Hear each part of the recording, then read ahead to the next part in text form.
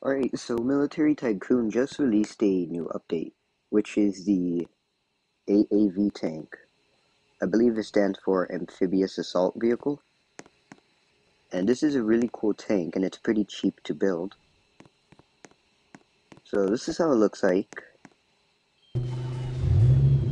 Let's see. And what's pretty cool is that this thing can travel on water. I'll also show you, I will show you right now.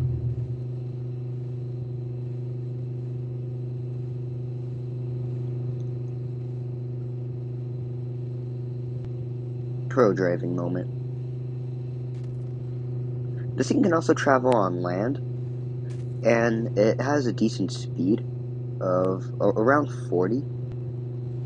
And when you drive it onto the water, it has a pretty cool effect.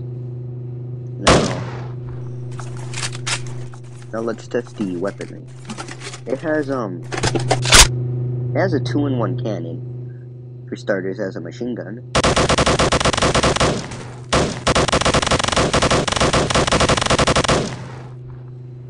And it has heavy shells, which you all you would have to do is press the little rocket sign. And then there's a little heat meter above that. Like, is that just like a cooldown? I'm pretty sure it is. Let's see the maximum speed of this. The maximum speed is, oh wow. Here's, whoa. It is almost a 90 on water. That is very cool and very, very fast. And they did update the underground vault, which I will show in a sec.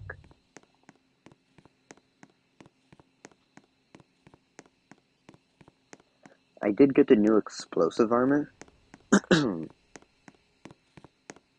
which is which spawns right on the first floor of your of your base.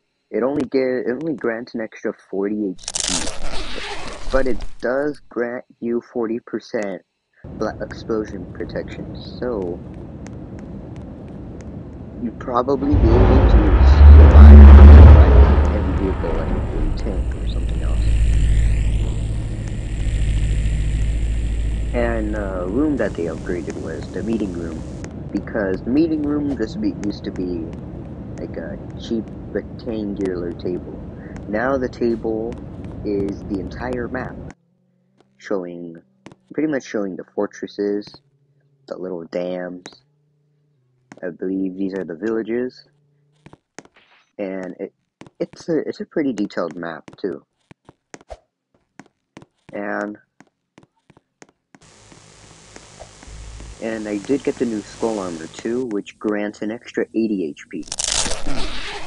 Nothing nothing special, no special effects, but it does grant an extra 80 HP, which is more than the other armors.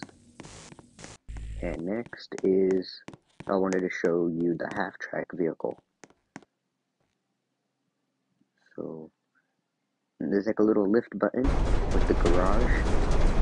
You lift it down. Very slow. Very slow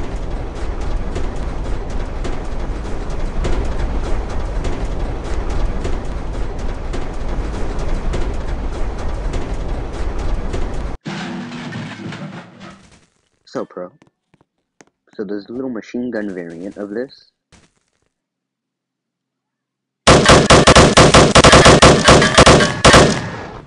And then there is the heavy turret uh, version of this. This is a pretty, it's a pretty speedy vehicle. However, there's just one thing that's bad about the vehicle. The turret doesn't turn 360. That's the thing. Turn 360. But, look, I'll show you the speed too. the speed of both of them are the same too.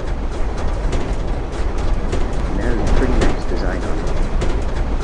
Okay. We're gonna have to go up to the garage for this one.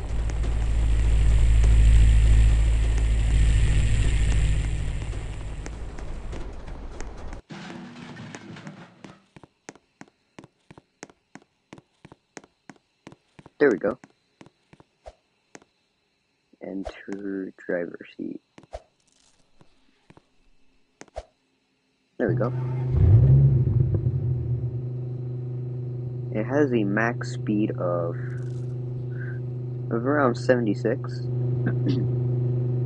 which is pretty speedy.